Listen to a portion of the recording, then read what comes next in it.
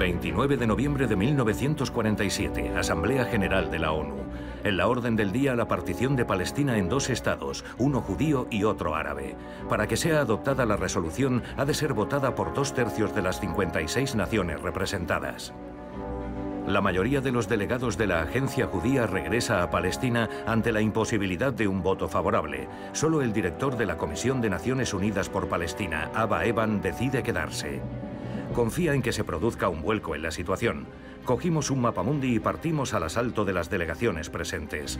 Nos faltaban tres o cuatro votos. Solo nos quedaban ya unas horas. Estábamos mandando telegramas, sacando de la cama a personalidades influyentes para embarcarlas en misiones que parecían imposibles. Cada cual ejerció su influencia en un esfuerzo desesperado por inclinar la balanza a nuestro favor.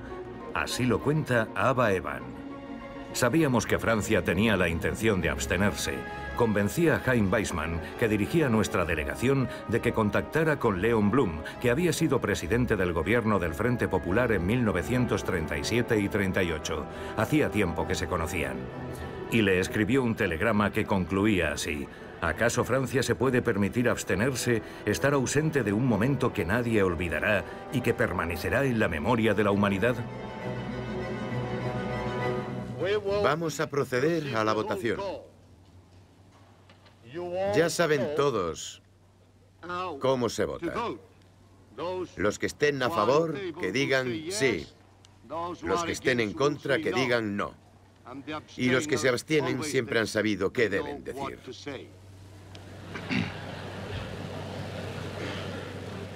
Vamos a empezar.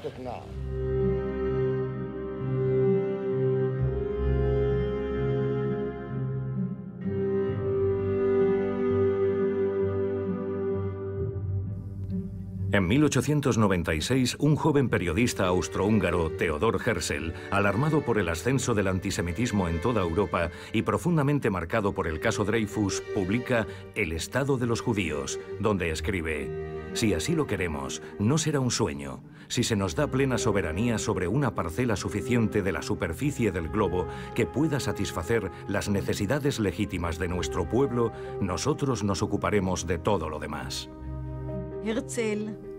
Herzl esperaba que en cuanto los judíos dispusieran de un país propio, se convirtieran en un pueblo como los demás y que las demás naciones se comportarían con ellos igual que con el resto, y que poco a poco el antisemitismo iría remitiendo. Pero también escribió, el antisemitismo es tan profundo y está tan arraigado y existe desde hace tantos años que esa esperanza tiene pocos visos de hacerse realidad. Y no ve otra solución al exilio y al antisemitismo que fundar un Estado y vivir en él. Un año más tarde se celebra en el Casino de Basilea el primer congreso del movimiento sionista, cuyo objetivo es crear un hogar para el pueblo judío. Un participante cuenta así la clausura. Theodor Herzl era el Mesías laico de barba negra que nos iba a conducir hasta la tierra prometida. La euforia alcanzaba al público. De una a otra punta de la sala se oían gritos de El año que viene en Jerusalén. Un año más tarde, Herzl viaja por primera y única vez a Egipto y luego a Palestina. Escribe en su diario, Jerusalén es magnífica. Iluminada por la luna, la ciudad de David es impresionante. Evidentemente, el país que describe es maravilloso. Herzl detalla el país que él imagina. Un país muy liberal, muy europeo, muy sofisticado y que goza de excelentes relaciones entre las distintas comunidades y las distintas partes de la sociedad. Cuando Herzl presenta su proyecto sionista, todos los rabinos, Conservadores, reformistas y ortodoxos se oponen al sionismo. Estamos a finales del siglo XIX, principios del XX. Todos lo perciben como un pecado, ya que afirman que la diáspora es un castigo divino y que solo Dios puede permitir el retorno del pueblo judío a Tierra Santa con la llegada del Mesías. Herzl dice, hay que separar la religión del Estado. No podemos dejar que nos dirijan los rabinos, que se queden en sus sinagogas y que no nos digan lo que tenemos que hacer. El sionismo representaba la voluntad de liberarse de las cadenas de la religión y crear un hombre nuevo y una sociedad nueva en Israel. Fue en el séptimo Congreso Internacional Sionista celebrado en 1905 cuando se optó definitivamente por instalar el Estado judío en Palestina después de contemplar Uganda y Argentina. Es el primer congreso organizado desde la muerte de Herzl. Uno de sus miembros, Yitzhak Epstein, toma la palabra. Nos hemos olvidado de un pequeño detalle. Hay en nuestra amada tierra una nación entera que lleva cientos de años ocupándola y que no se ha planteado abandonarla. Estamos cometiendo un grave error psicológico. El presidente de la Unión de las Sinagogas de Gran Bretaña le había escrito a Hersel, tiemblo ante la idea de fundar un minúsculo Estado judío que pueda convertirse en un gueto. A principios de siglo, la población constaba de unas decenas de miles de judíos y cerca de medio millón de árabes. Los judíos no eran agricultores, en su mayoría eran ultraortodoxos que vivían gracias a los donativos del extranjero o eran comerciantes que tenían pequeños negocios, nada más. Había una pequeña comunidad religiosa muy practicante principalmente en Jerusalén, y en otros sitios como en Hebrón y Safed. Sin lugar a dudas, las relaciones entre los judíos y los árabes eran buenas.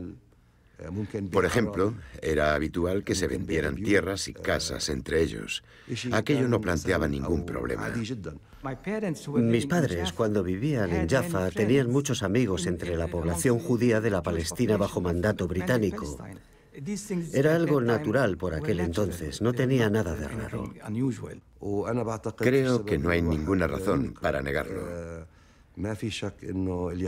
Es evidente que los judíos habían vivido en esta tierra. Indudablemente existía aquí una cultura judía. Los pogromos en Rusia aceleran la inmigración masiva de los judíos, principalmente a Estados Unidos. Un puñado de jóvenes estudiantes sionistas procedentes de Ucrania decide instalarse en Palestina. Llega un pequeño grupo y compra una parcela en Rishon LeZion y allí deciden instalarse. Una de las cosas más extrañas es que ya desde un principio los judíos dicen, es nuestro país. Y los árabes lo oyen. De hecho, la llegada del primer judío es el preámbulo del conflicto árabe-israelí. En este sentido, podemos decir que el germen del conflicto está presente desde el comienzo. Unos jóvenes idealistas vinieron aquí a trabajar la tierra y se dijeron, vamos a crear una colonia modelo en Israel. Hay textos de 1907 y 8 que dicen, esa historia es un gigantesco proyecto para desalojarnos de nuestro país. Las condiciones de trabajo tan duras en este país, en lugares donde estaban lejos de todo, los condujo a buscarse un modus vivendi en el que todo se pusiera en común.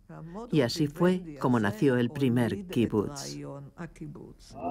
El primer kibbutz o aldea colectivista lo crean en Palestina en 1909 unos jóvenes idealistas emigrados de Europa deseosos de tomar parte en la creación de un nuevo Estado con un nuevo estilo de vida. Mi abuelo trabajaba en el barro, desecando pantanos. Mi abuela partía piedras con un mazo. Vivieron en una tienda de campaña durante cinco años. Para el conjunto del mundo occidental, las tierras de Palestina están abandonadas, casi deshabitadas.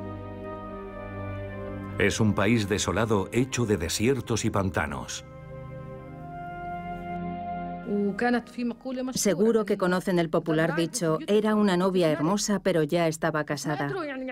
Pero ellos no eran capaces de admitir esa verdad. Así que se inventaron un famoso eslogan para justificar y dar legitimidad a su proyecto de instalarse en el territorio de la población local. Y era lo que iban diciendo por el mundo. Una tierra sin pueblo para un pueblo sin tierra. Era una mentira descarada. Contaban que habían transformado esa tierra en un paraíso. Era un sitio totalmente desértico, pero menos mal que llegamos nosotros. Ese era el discurso. Pero ese relato del territorio desértico se remonta al siglo XIX al periodo en el que las potencias europeas ya empezaron a describir la Tierra Santa como una tierra devastada, a la que había que resucitar como fuese. Los musulmanes no eran recelosos antes de la creación del movimiento sionista. No sospechaban que un día esa relación entre judíos y árabes se pudiera transformar en algo que le costaría tan caro al pueblo palestino. La colonización judía es, en parte, responsable del deterioro de las relaciones entre judíos y árabes. Y es que desde un principio se decidió que no se iba a utilizar mano de obra local árabe.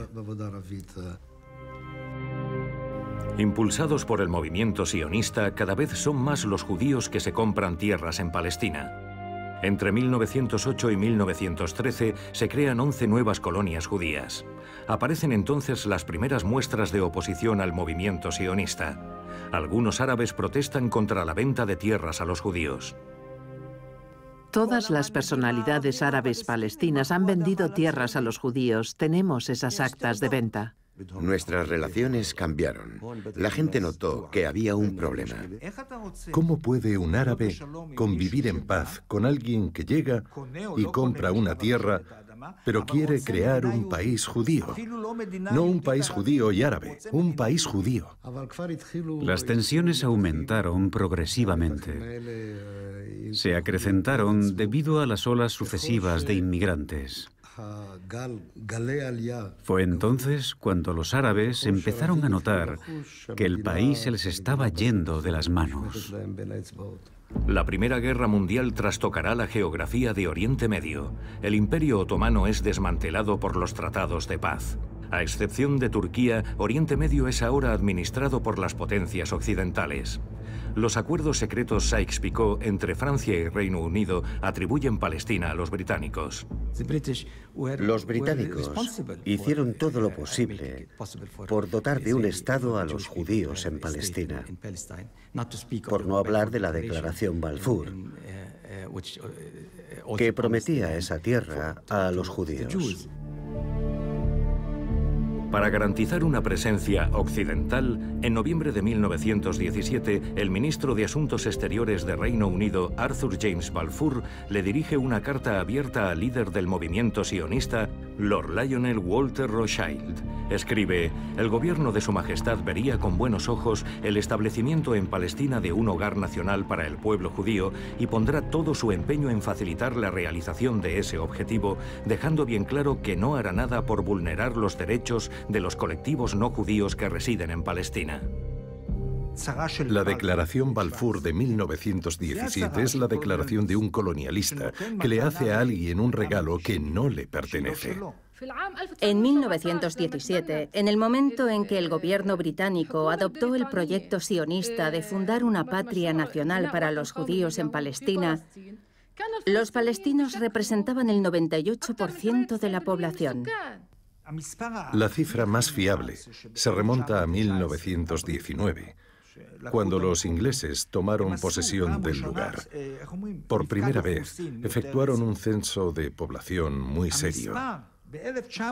El resultado es que en 1919 hay 700.000 árabes y 70.000 judíos. Desde un principio, los británicos tienen una conciencia aguda del hecho de que, para poder quedarse más tiempo, tienen que dividir. El primer acto de partición es un acto de perversión absoluta. Ya en el primer censo que hacen los británicos, crean unas categorías que no existen en los censos. Crean una categoría de judío y crean una categoría de árabe. Y esa fue siempre su idea. Dicho de otro modo, su idea es, hagamos que se peleen entre ellos y así seremos eternamente los árbitros del juego. Con el ascenso del nacionalismo árabe, las primeras manifestaciones antijudías se producen en marzo y abril de 1920 en Jerusalén y en mayo de 1921 en Jaffa y Tel Aviv. Se saldan con más de 50 muertos. El ministro de las colonias, Winston Churchill, acude para investigar los hechos y publica un libro blanco para clarificar la postura británica sobre Palestina. La Sociedad de las Naciones atribuye a Gran Bretaña preparar la creación de un hogar nacional judío. Entre 1924 y 28, más de 60.000 judíos llegan a Palestina. En agosto de 1929 estallan las protestas entre musulmanes y judíos en torno al acceso al Muro de las Lamentaciones. Dos días más tarde comienzan los rumores de un ataque judío inminente contra la mezquita de Al-Aqsa. Las agresiones árabes a los judíos empiezan en la ciudad vieja de Jerusalén antes de propagarse por toda Palestina. 67 judíos, entre ellos mujeres y niños, son asesinados en Hebrón. Otra masacre se produce en Safed, donde mueren 18 judíos. Durante una semana de enfrentamientos, 133 judíos mueren a manos de los árabes. Un informe británico precisa, son manifestaciones locales de animosidad y hostilidad de los árabes hacia los judíos que se derivan de la no realización de sus aspiraciones políticas y nacionales. El partido nazi llega al poder en 1933. Comienza la persecución de los judíos en Alemania y Austria. En 1933, Adolf Hitler y su ministro de propaganda Joseph Goebbels organizan el boicot a los comercios de los judíos. La agencia judía firma un acuerdo con el Ministerio de Economía del Tercer Reich que permite a los judíos alemanes emigrar a Palestina si abandonan la mayor parte de sus pertenencias antes de irse. Entre 1933 y 39, la llegada de decenas de miles de inmigrantes impulsa la economía. Es una emigración de intelectuales, científicos, arquitectos, artistas. Se crean numerosas empresas. La población de Tel Aviv, creada en 1909, se ha triplicado y cuenta con 150.000 habitantes. La población se agolpa en las playas y en los sitios de moda. Ayer, en la esquina entre las calles Allenby y Bialik, se inauguró un elegante café digno de las mayores capitales europeas. Escriben en el periódico Arech. En 1935, David Ben Gurion es nombrado presidente de la Agencia Judía. Llegó a Palestina en 1906 con 20 años desde una pequeña ciudad polaca para participar en la creación del nuevo Estado. Quería ya mismo un país para los judíos, pero sus amigos entendieron que iba a llevar su tiempo. Ese mismo año es nombrado jefe de la Haganah, el grupo armado de defensa de los judíos de Palestina prohibido por los británicos. En abril de 1936, los árabes lanzan un llamamiento a la huelga general exigiendo el fin de la inmigración y la prohibición de vender más tierras a los judíos. La oposición árabe-palestina culmina con la Gran Revuelta de 1936. Se oponen al sionismo y a la presencia británica en Palestina. Las revueltas se saldan con un número muy elevado de muertes. Varios cientos de árabes serán abatidos por los ingleses y más de 300 judíos hallarán también la muerte. El Alto Comité Árabe se constituye en octubre bajo la dirección del Gran Muftí de Jerusalén, Amin al-Husseini.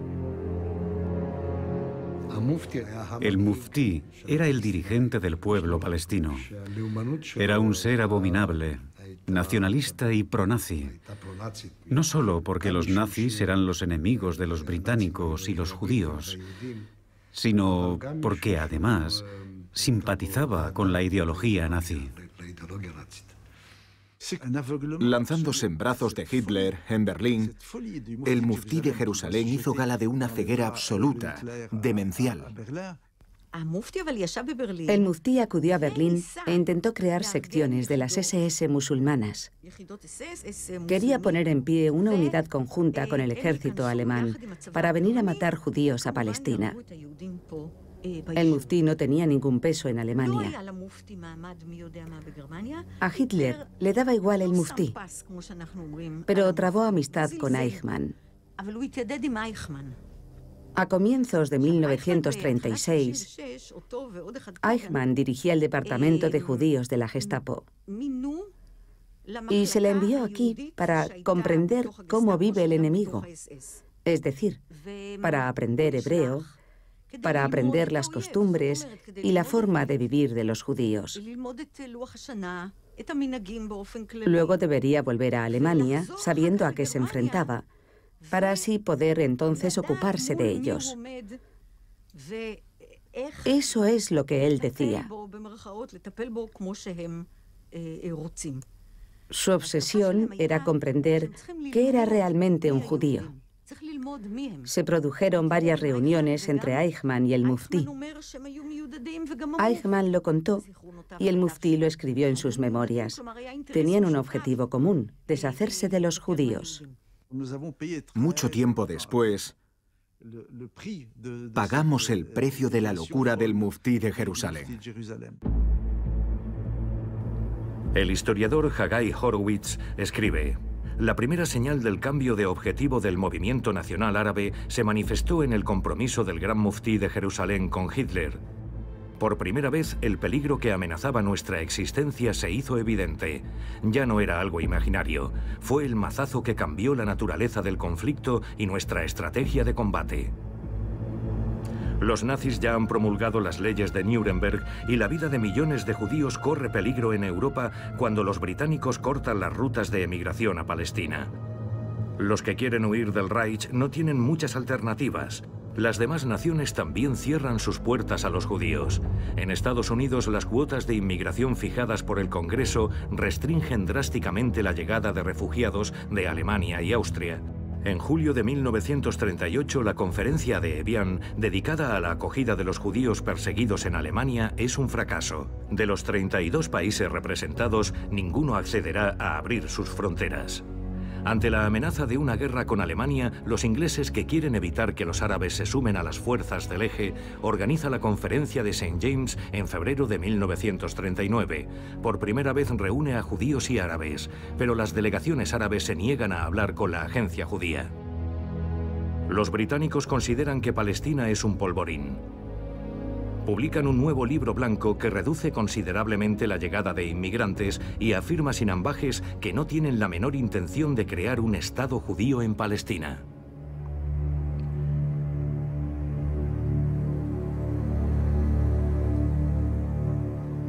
Hitler acaba de invadir Polonia.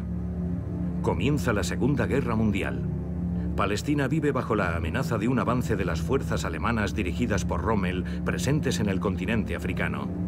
Ben Gurion declara, ayudaremos a los británicos en la guerra como si no hubiera libro blanco y lucharemos contra el libro blanco como si no hubiera guerra. Tras un acuerdo entre el Estado Mayor de la Haganá y el del ejército británico, se decide crear una fuerza compuesta de voluntarios judíos en el seno del ejército británico para combatir las fuerzas nazis. De niño, mi padre hablaba cuatro idiomas y tenía una conciencia política muy aguzada. Su madre murió poco después de la invasión nazi, en 1939, y convenció a su padre de que no había otro sitio para los judíos aparte de Israel. Durante cuatro meses estuvieron viajando a bordo de un barco atestado de viajeros clandestinos. Un barco que ningún país quería dejar atracar en sus costas. Ni los ingleses de Churchill, ni la América de Roosevelt, ningún país del mundo. Un muchacho judío de 12 años sin más horizonte que el mar. Por fin llegaron aquí, pero fueron detenidos por los ingleses. Seguía llegando aquí gente, unos cuantos miles de personas, y contaban lo que estaba pasando. Se pensaba que lo peor que podía existir eran los guetos. Pero los recién llegados empezaron a dar informaciones alarmantes sobre Polonia, noticias dramáticas muy duras, masacres colectivas en muchos lugares. No se lo creyeron. Al principio a la gente le resultó inconcebible. Pensaba que eran pogromos, muestras de antisemitismo. Sonaba tan horrible que no podía ser verdad. Y poco a poco, para finales de año, empezó a imponerse esa imagen tan dramática de los hechos y el uso de métodos atroces, con gente enterrada viva, padres obligados a enterrar a sus hijos y, por supuesto, ejecuciones por fusilamiento delante de fosas comunes. En 1942 llegó aquí un telegrama que decía que Himmler había decidido matar antes de finales de ese año entre 3 millones y medio y 4 millones de judíos con un gas llamado ácido prúsico en lugares específicos. Ese telegrama parecía tan inverosímil que se quedó en el fondo de un cajón. Pero llegó un primer grupo de refugiados que recorrió el país diciendo, Camaradas, está pasando de verdad. Es terrible. Y lo están haciendo metódicamente. ¿Cómo puedes oír algo semejante cuando toda tu familia vive en Europa? Quiere decir que has perdido a tu familia y a tu comunidad. La Segunda Guerra Mundial se acaba. Pero la victoria de los aliados sobre la Alemania nazi no modifica la política de los británicos. Londres sigue rechazando la inmigración de los refugiados a Palestina, pese a que 100.000 supervivientes judíos de Europa no tienen a dónde ir.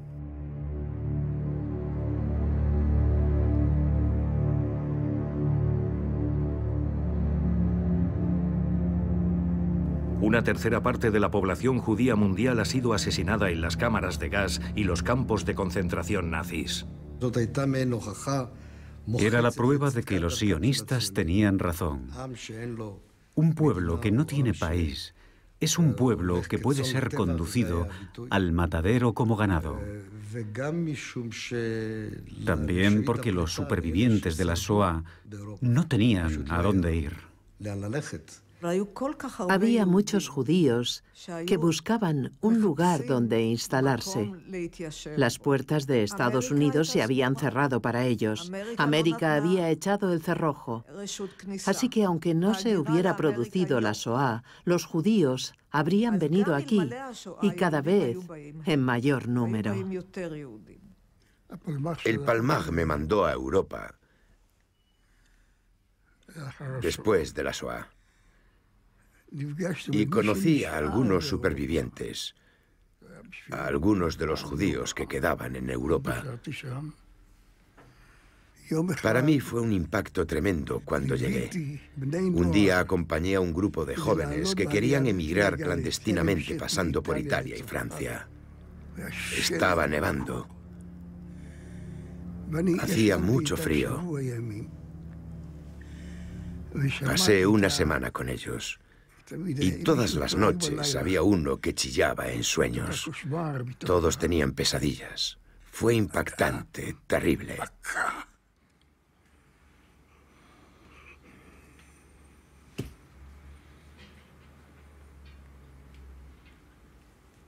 Me marcó de por vida.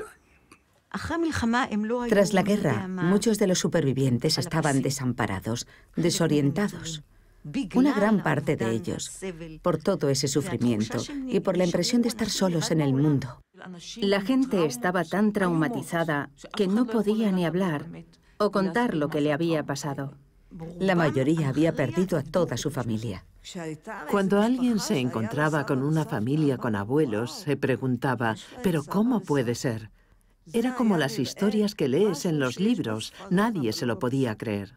Nací en septiembre de 1946 en un campo de refugiados cerca de Linz, en Austria.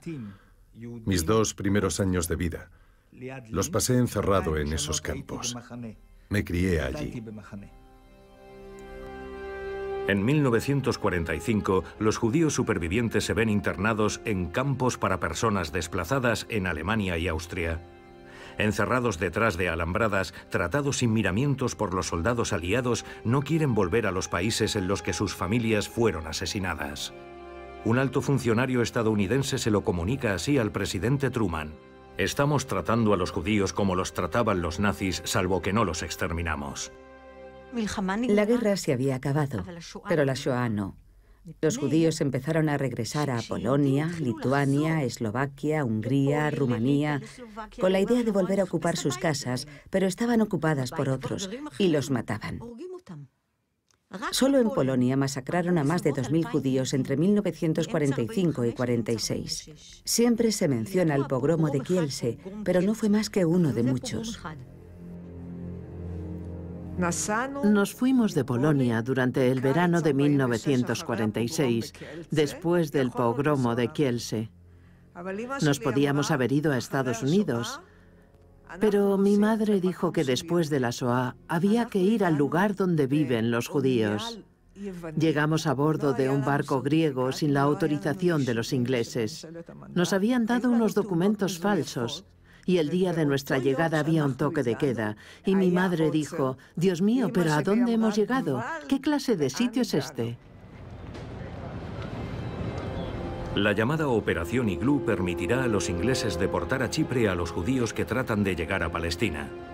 En sus circulares internas lo califican púdicamente de transbordo y desplazamiento para no invocar el espectro de las deportaciones.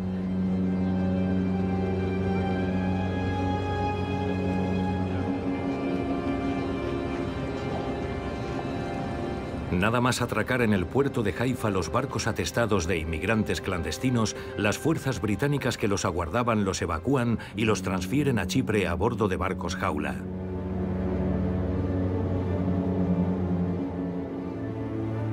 Más de 50.000 judíos transitarán por estos campamentos rodeados de alambradas y vigilados por militares armados. En su mayoría son supervivientes de la SOA. La filósofa Hannah Arendt escribe, los campos de internamiento en Chipre solo son posibles porque a todo el mundo les parecen humanos comparados con Auschwitz. Gran Bretaña. Si nos fijamos en todas sus decisiones cuando empiezan a bloquear la inmigración judía, no es porque se haya producido un cambio en su política, es porque saben que los están desalojando de Palestina. En junio de 1946, los ingleses lanzan la Operación Ágata. Durante un registro encuentran documentos que confirman que la agencia judía aprobaba las operaciones de sabotaje. Deciden dar un golpe de efecto. 2.700 personas son arrestadas, un golpe muy duro para los sionistas. Un mes más tarde, unos hombres del Lehi, el grupo paramilitar judío, hacen volar el Hotel King David, el cuartel general británico, provocando la muerte de 91 personas. Paradójicamente, ese atentado condenado en el mundo entero precipitará los acontecimientos a favor de la causa sionista. Los británicos comprenden que no van a poder seguir plantando cara a unas organizaciones judías cada vez mejor estructuradas y optan por la retirada. Poco a poco fue aumentando la atmósfera de hostilidad hasta que en 1947 la situación terminó de deteriorarse. A petición de los británicos, la ONU nombra en abril de 1947 una comisión de investigación internacional. El informe final recomienda la creación de un Estado judío y un Estado árabe. Sorprendida por la decisión, Gran Bretaña rechaza esta propuesta de partición y declara que abandonará su mandato en seis meses. No cabe duda de que la SOA influyó en gran parte de los miembros de Naciones Unidas. La misión de la ONU vino aquí y vio los campos de refugiados de los judíos en Europa. Y esa comisión internacional concluyó que, después de lo que había ocurrido, había que darle un país a los judíos. Lo que no vio la dirección palestina en 1948 es que el holocausto había tenido lugar y el mundo entero estaba convencido de que se les debía una reparación a las víctimas y de que la reparación fundamental era el nacimiento de un Estado judío y que esa era la única respuesta adecuada a la barbarie nazi. Mientras se desarrolla la labor de esta comisión, el Mossad trata de forzar a los británicos a abrir las puertas de Palestina, fletando un viejo barco rebautizado como Éxodo 1947. Cargado con 4.500 emigrados judíos de Centro Europa, llega en julio a las costas de Haifa.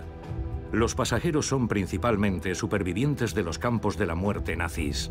Antes que pudrirse en los campos de refugiados, han preferido apuntarse a las redes clandestinas de tránsito a Palestina.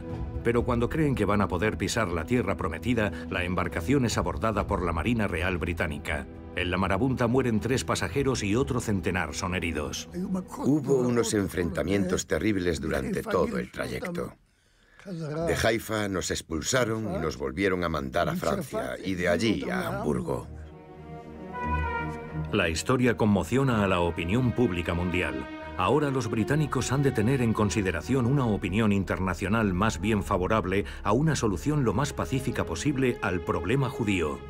En la ONU se disponen a votar para decidir el porvenir de Palestina. David Ben Gurión sigue por la radio los primeros resultados. A su lado, Eleanor Roosevelt, la viuda del presidente, quien influyó en la decisión de implicar a Estados Unidos en la Segunda Guerra Mundial y desempeñó un papel determinante en la creación de la ONU. Francia sigue callando sobre sus intenciones, pero Leon Blum, muy conmovido por el telegrama de Jaime Weissman, ha prometido ejercer toda su influencia. El presidente Truman presiona a los representantes de estados hasta entonces recalcitrantes para que voten a favor de la partición. A cambio, Filipinas y Haití recibirán préstamos. En un primer momento, los votos desfavorables a la partición eran mayoría, pero los estadounidenses pretextaron la fiesta de acción de gracias para posponer la votación y volvieron con dos pequeños países que nadie sabía situar en un mapa, pero que habían hecho los deberes durante la fiesta, y en ese momento el sentido de la votación cambió. El ministro de Asuntos Exteriores de la Unión Soviética, Andrei Gromyko, sorprende al mundo occidental con un inesperado discurso prosionista. Durante la última guerra, el pueblo judío ha padecido unos sufrimientos excepcionales. Ello implica que los judíos aspiren a fundar su propio Estado. Y sería injusto negarles ese derecho. Gromyko se presenta en su discurso como sionista. Pero los soviéticos habían perseguido durante años a los sionistas, encerrándolos en gulags. El discurso de Gromyko no tenía nada que ver con lo que había pasado. La diplomacia soviética no se había caracterizado nunca por su sentimentalismo. Es una cuestión de intereses. La Unión Soviética quería reemplazar a los británicos en Oriente Medio. Los ingleses acabarían siendo expulsados y no quería que Estados Unidos les robase el sitio.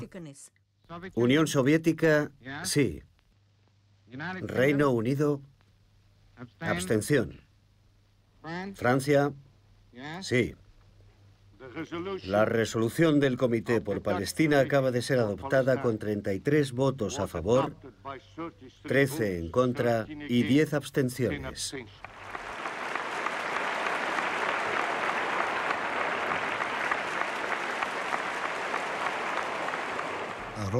La mayoría que obtuvimos en la votación relativa a la partición de Palestina en noviembre de 1947 nunca habríamos podido obtenerla antes y ni siquiera así fue fácil de conseguir. Se dice que la decisión se produjo a causa de la mala conciencia de los occidentales por la Shoah. Pero ¿dónde había estado antes esa mala conciencia? ¿Ahora la tenían de golpe? Es una de las grandes paradojas de este país, que se construyó encima de la mayor tragedia de la historia del pueblo judío. La resolución de la ONU propone la partición de Palestina en dos estados, uno judío y otro árabe, con Jerusalén bajo control internacional. Pero la mayoría de los árabes de Palestina y la totalidad de los estados árabes vecinos rechazan el plan. ¿Se equivocaron los palestinos al no aceptar el plan de partición? ¿Demuestra esto ya desde un principio hasta qué punto eran fanáticos casi de nacimiento? La negativa árabe a dividir Palestina, que se votó en la ONU, fue un error por su parte. Con la distancia podemos decir hoy que fue un error. Se cometieron muchos, no solo en 1947. Desde su punto de vista no era un error. No estaban preparados para aceptar un país judío, y menos aún vivir al lado. Todos los intentos de Israel para dividir el país en dos han fracasado por culpa de los palestinos. De hecho, no entendían por qué tenían que ceder la mitad de su tierra natal. La incomprensión reinaba en la sociedad. Se decían, ¿pero por qué? Si los árabes hubieran dicho que sí en ese momento, ¿las cosas habrían tomado otro rumbo? ¿Se habría llegado a una situación mejor o no? ¿Los israelíes o los judíos lo habrían aceptado?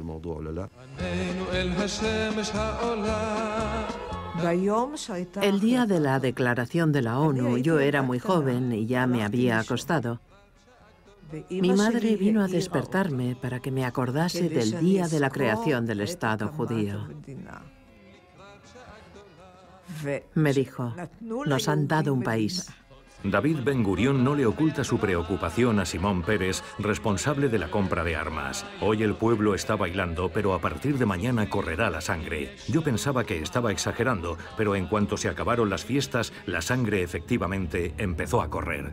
Mi padre me decía que el día en el que se supo de la votación, en el que se anunció, estaba seguro de que estallaría una guerra. Israel nació de la guerra. La gente se pasó bailando toda la noche del 29 de noviembre.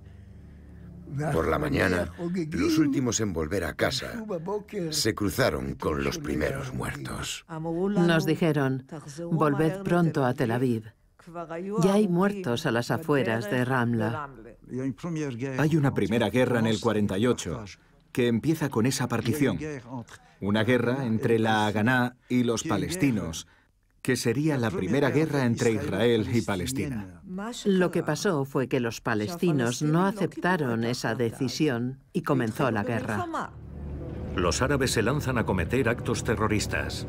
En Jerusalén, un triple atentado con coche bomba dirigido a la redacción del diario The Palestine Post, al mercado de la calle Ben Yehuda y a las oficinas de la agencia judía se salda con un centenar de muertos judíos. En Haifa, miembros del Irgun, organización militar escindida de la Haganá, arrojan dos artefactos explosivos en una refinería, matando a seis obreros árabes. La masa enfurecida mata a 39 judíos como represalia antes de que los soldados británicos restablezcan la calma. En marzo de 1948 se diseña el Plan Dalet. La Haganá mantendrá el orden con autoridad para la expulsión de palestinos.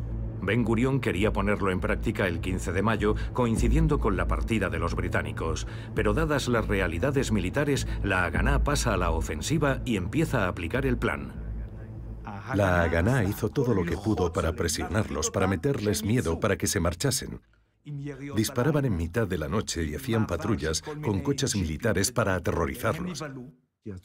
En todo momento se planteó evacuar el territorio para instalar reemplazantes, o sea que es una práctica que presupone ya una política muy clara.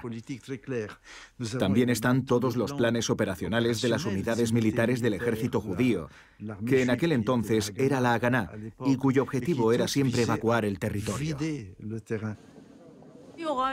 Cuando llegaron mis padres, les propusieron una vivienda vacía en Jerusalén, una casa de unos refugiados palestinos, pero la rechazaron.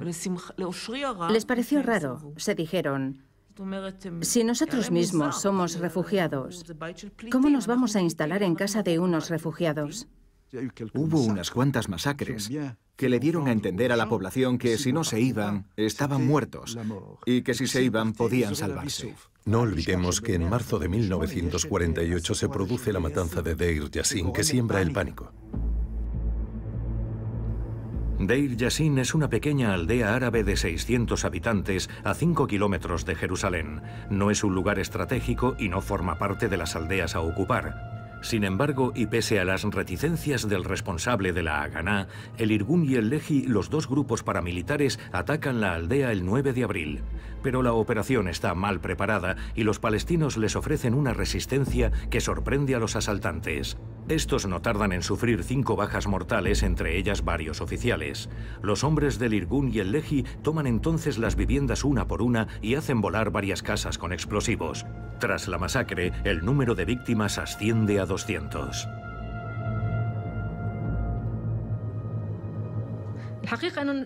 Crearon unas condiciones y organizaron unas operaciones destinadas a aterrorizar a la gente. Un ejemplo es la masacre que perpetraron en la aldea de Deir Yassin. En otras ciudades y aldeas, como en Lod, la población emprendió la huida y fue a refugiarse a otro sitio.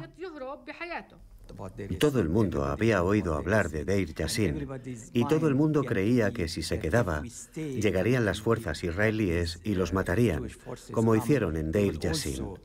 No tenía sentido quedarse y dejar que los masacraran. Los rumores sobre Deir Yassin aterrorizan a la población. Están convencidos de que los sionistas van a llegar y los van a matar. Esa no fue su intención, era hacerlos huir cuanto más mejor. Deir Yassin sirvió muy rápidamente como arma psicológica para asustar al mayor número posible de árabes y obligarlos a huir de sus casas. En las memorias del primer embajador de Estados Unidos en Israel, la noticia de Deir Yassin aún está fresca. Dice que tuvo una conversación con Weizmann, el pacifista, y le dijo que había sido una masacre inútil. Weizmann, el pacifista, le soltó una frase heladora. Le dijo, cito textualmente, esta masacre ha sido una simplificación milagrosa de las tareas de Israel. Ha convencido de que se fueran a los más recalcitrantes. A nuestros hijos se les enseña que, bueno, es muy triste que se haya muerto toda esa gente, pero que no es tan importante. Lo importante es que tengamos un país. El 14 de mayo de 1948, una muchedumbre eufórica llena las calles de Tel Aviv, ondeando banderas con la estrella de David. En Tel Aviv, puesto que Jerusalén está asediada y es inaccesible, Ben Gurión, plantado bajo el retrato de Theodor Herzl, declara con voz firme: Proclamamos la fundación del Estado judío que llevará el nombre de Estado de Israel. Tendemos la mano de la amistad y la paz a todos los estados que nos rodean. Hay espacio suficiente en este país para nosotros y para los árabes. El Estado de Israel ha nacido. El sueño se convierte en realidad.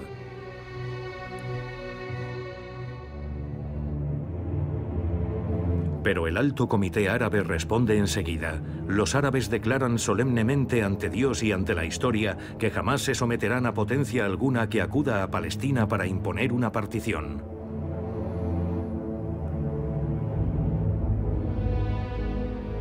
Gran Bretaña pone fin oficialmente a su mandato y sus tropas se disponen a emprender la retirada.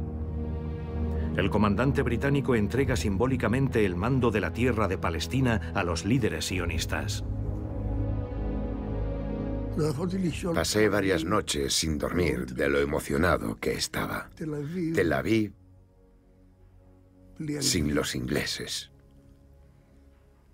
Las fuerzas británicas abandonaron el país, pero dejaron muchas armas a los árabes. Eran antisionistas desde el minuto uno. No creían que Israel, que había nacido de la sangre, podría resistir contra todos los ejércitos árabes. La mayor parte de los diplomáticos y dirigentes de todo el mundo, incluso algunos de los dirigentes sionistas, tenían serias dudas. Dudaban de la posibilidad de que el nuevo Estado pudiese resistir frente al ataque de los ejércitos árabes. Los ejércitos de los estados árabes vecinos invaden la antigua Palestina bajo mandato. La primera guerra árabe-israelí ha comenzado. Los aviones egipcios bombardean Tel Aviv. Menos de tres años después de la liberación de los campos de exterminio, los judíos de Palestina consideran que siguen combatiendo por su supervivencia. Es un error declarar una guerra cuando uno no está preparado ni siquiera para librarla. No olvidemos que fueron los árabes los que provocaron la guerra y la perdieron. Pero ¿tendría que haberse comportado mejor Israel? Sí. Siempre había avisos que decían, si os vais por la ruta costera de Haifa, en nuestro caso, estaréis sanos y salvos, no os pasará nada, podréis escapar. Los metían en camiones. Entre Haifa y Tel Aviv, casi todos los habitantes fueron expulsados. La gente se sintió en peligro. No se podían quedar. Todos pensaron, mis padres por lo menos, que si se iban de Jaffa estarían a salvo, como hace la gente durante las guerras, y que luego podrían volver una vez terminada la guerra, pero nunca pudieron volver.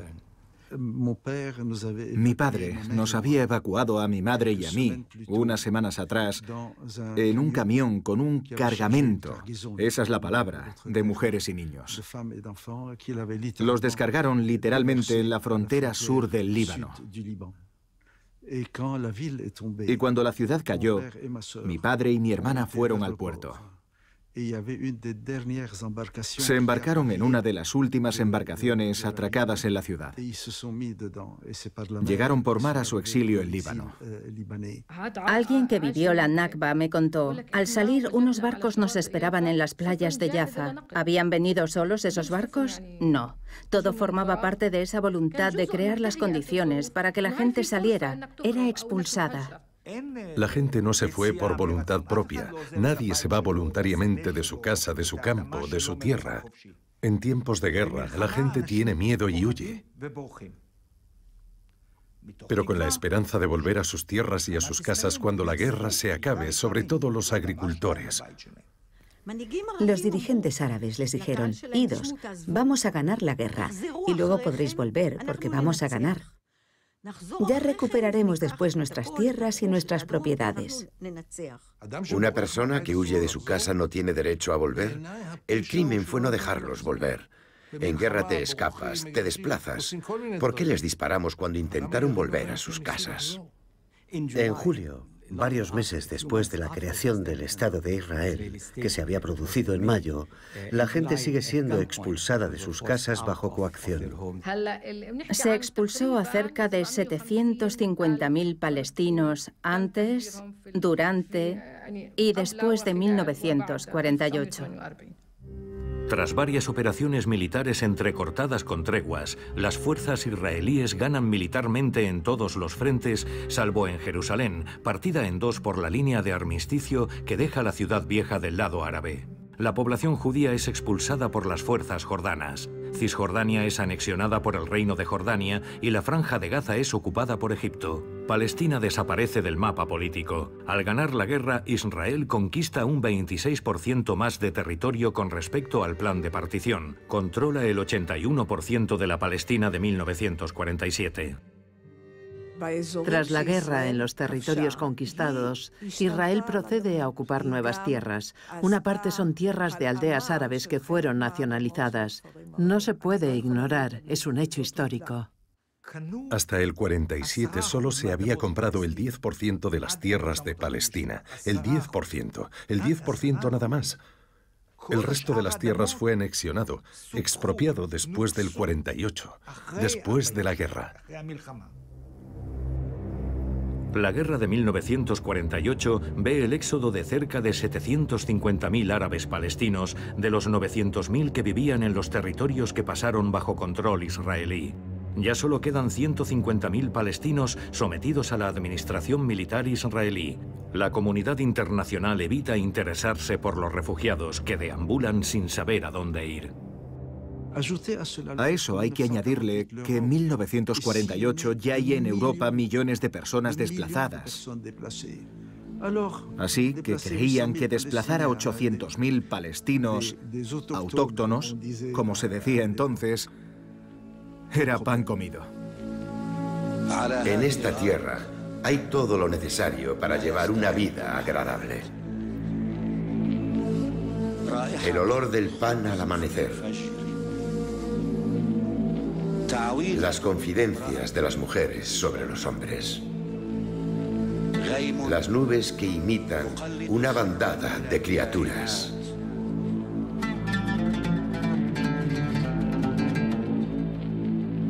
En esta tierra se alza el alma de la tierra. La madre de los preludios y de los epílogos. Se llamaba Palestina. Se sigue llamando Palestina. Palestina.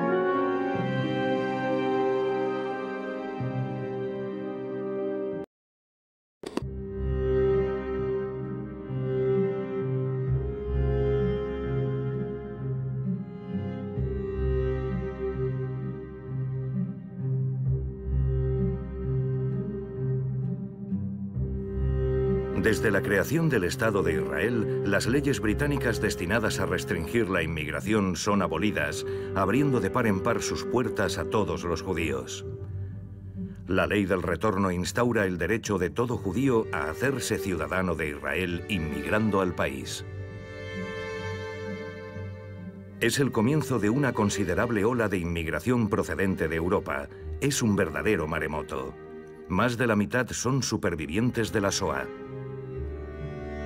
A lo largo de los primeros seis meses posteriores a la independencia, son 100.000 los inmigrantes que desembarcan en Israel y más de 250.000 en 1949, aumentando la población en un 50%. Estos nuevos inmigrantes procedentes de todos los rincones de la Tierra son extranjeros entre ellos y hablan un número incalculable de idiomas. La prioridad es integrarlos.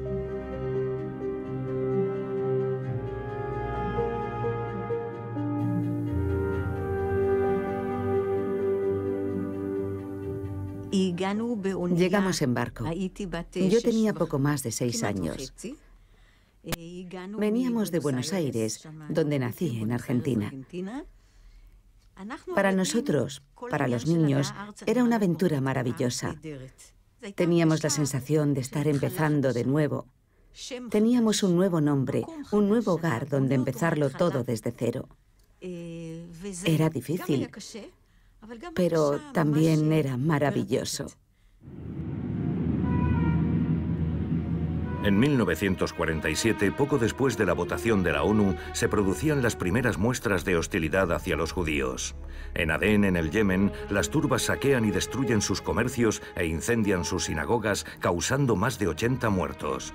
Durante la espectacular operación Alfombra Voladora, más de 45.000 inmigrantes originarios del Yemen son trasladados a Israel en tres vuelos por día. Ante la Knesset, Ben Gurion declara, nuestra meta es aclimatar a los yemeníes a las costumbres israelíes hasta hacerlos olvidar de dónde vienen, al igual que yo olvidé que era polaco. Para mi abuela, que era marxista, no es que fueran primitivos, eran pre-primitivos. Pero para esos yemeníes, una persona como mi abuela ni siquiera era judía. En el periódico Arech se leía, estos inmigrantes de Yemen son de un nivel inferior al de los palestinos. Serían precisas generaciones enteras para sacarlos del abismo medieval en el que están sumidos. Ante la llegada de inmigrantes y la falta de recursos, el gobierno de Ben Gurión implementa un programa de austeridad que incluye un racionamiento alimentario. Miles de israelíes salen a las calles para reclamar pan y trabajo y vandalizan las oficinas de la agencia judía reclamando empleo y vivienda. La población se había duplicado, pero los medios no. Vivíamos con cartillas de racionamiento. Ya casi no había comida y a finales de 1951 no quedaba nada. Lo que nos salvó fue el dinero de las reparaciones alemanas. Ben Gurion comprende que necesita las reparaciones de Alemania. La economía israelí está al borde de la catástrofe. Ben Gurion sabe que sin ese dinero no se puede hacer gran cosa. Begin, los supervivientes de los guetos y hasta la izquierda dijeron, ¿cómo? ¿Dinero alemán? Antes muertos. Y estábamos al borde de la muerte. Begin se opuso a esa iniciativa. La percibía como el precio de la sangre, como dinero sucio, como dinero a cambio de la sangre de los judíos. Y entonces decidió organizar, sobre todo en Jerusalén, una serie de impresionantes manifestaciones. La gente vivía en barracones, se había implantado la austeridad. Nos estábamos quedando sin petróleo, sin gasolina y sin dinero. Nos estábamos desmoronando. ¿Por qué no cobrar de los alemanes? En los años 50, uno de cada cuatro israelíes era un superviviente de la Shoah. Mi pueblo no se puede olvidar de su pasado, pero la Alemania de hoy no es la Alemania de ayer. Judíos, no olvidemos nunca. No perdonemos a los nazis. Hay que entender la psicosis en la que vive la gente después de la guerra, el odio visceral que le tienen a los alemanes y que en Israel sigue vivo. Cuando yo llegué aquí y nos dieron el pasaporte israelí, ponía válido para todos los países excepto Alemania. Estaba prohibido hablar en alemán.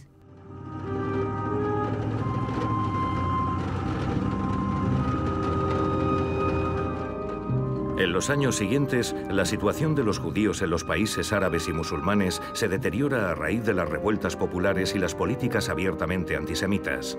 El presidente del Ejecutivo de la Agencia Judía declara, tenemos que hacer venir aquí a todos los judíos sefardíes para salvarlos, pero también porque los necesitamos para construir el país. La mayoría de los miembros de la comunidad judía del mundo árabe, más de 850.000 personas, huyen de estos países. Entre ellos, 600.000 se refugian en Israel. Ben Gurión quería traer aquí a todos los judíos. Le dijeron, mire, nuestra economía se derrumba, no podemos, no podemos multiplicar nuestra población en tres años. Pero Ben Gurión no les hizo caso, ordenó venir aquí a todos los judíos. 830.000 judíos habían sido expulsados de los países árabes de Egipto, de Irak, del Yemen, de África del Norte, llegaron sin nada y se fueron a unos barracones de refugiados. Las primeras olas de inmigración sefardí llevan a Israel a una población que encuentra unos obstáculos insuperables para integrarse. Muchos inmigrantes de África del Norte no saben leer ni escribir en ningún idioma. Su modo de vida se ve totalmente trastocado.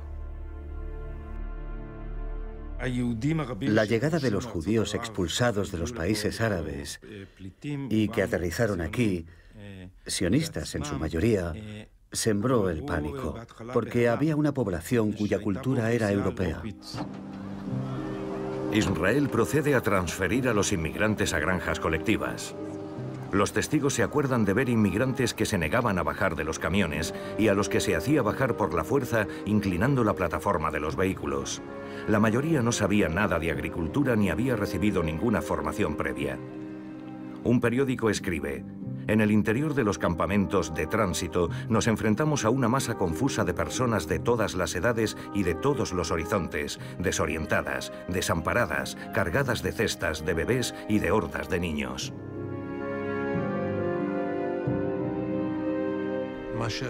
Lo que padecieron los judíos de África del Norte y de los países árabes se merece toda una película aparte.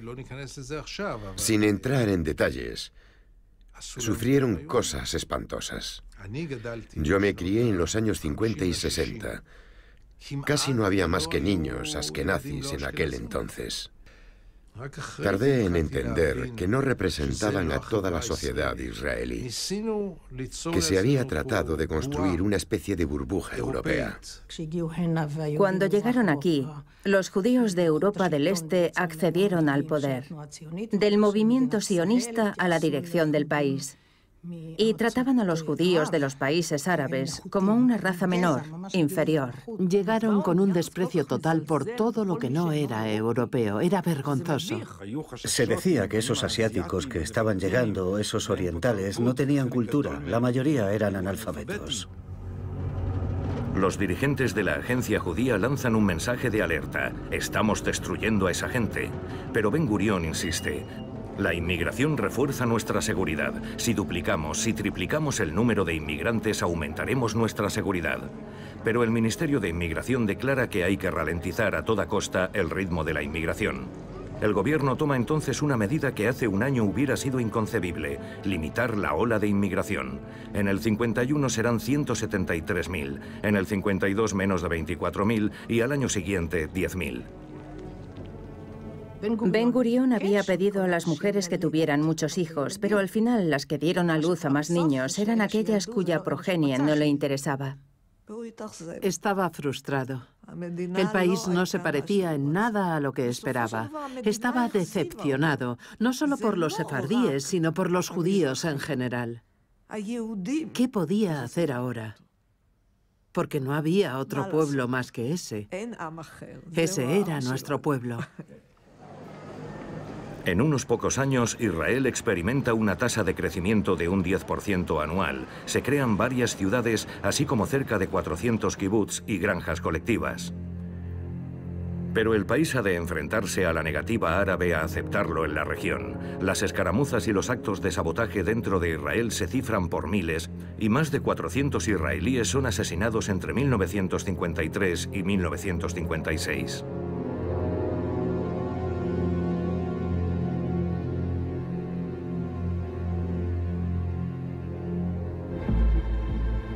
En Egipto, la monarquía del rey Farouk es derrocada y el teniente coronel Gamal Abdel Nasser toma el poder. Nasser, en sus años de soldado, había sido capturado aquí. Había trabado amistad con uno de los oficiales israelíes y la cuestión palestina no le interesaba especialmente. En 1956, la tensión crece entre los israelíes y los egipcios, con incursiones de los palestinos infiltrados en el territorio israelí. Ese hostigamiento constante, sumado al ascenso al poder de Nasser, que nacionaliza el canal de Suez y lo cierra a los barcos israelíes, van a desembocar en la campaña del Sinaí y la crisis de Suez. Francia, Reino Unido e Israel concluyen un acuerdo secreto para tomar el control del canal y derrocar a Nasser. El 29 de octubre de 1956, el desembarco de las fuerzas británicas y francesas en Puerto Said sucede a la invasión israelí del Sinaí.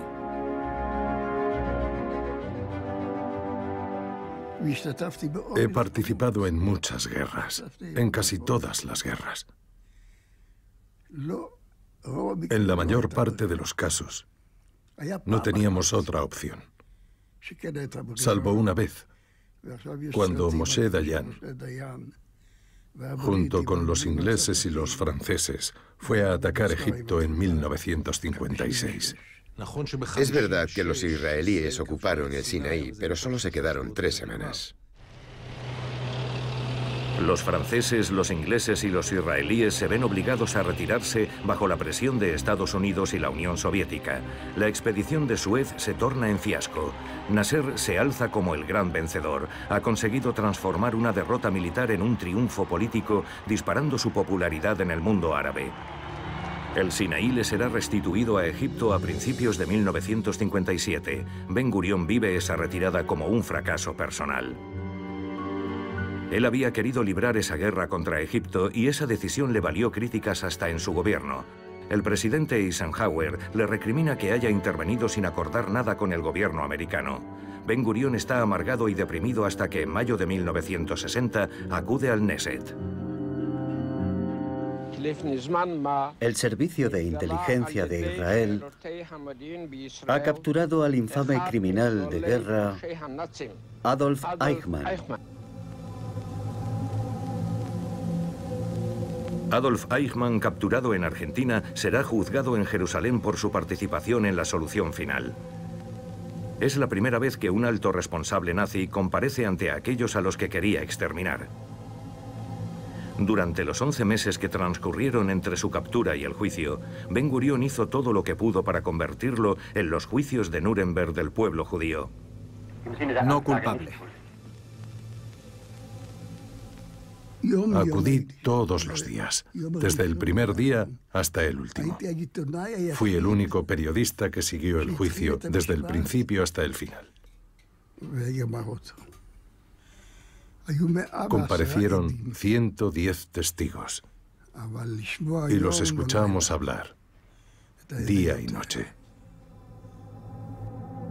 El juicio a Eichmann, que durará cerca de un año, será una terapia para los israelíes, sobre todo para los más jóvenes. Los jóvenes israelíes que habían nacido aquí no conocían ese pasado, apenas sabían nada. Les llevó su tiempo.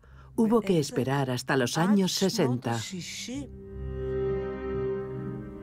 En junio del 63, tras llevar a cabo su última misión, después de haber sido primer ministro durante 14 años, David Ben Gurión se retira de la vida política y designa a su sucesor, Levi Eskol.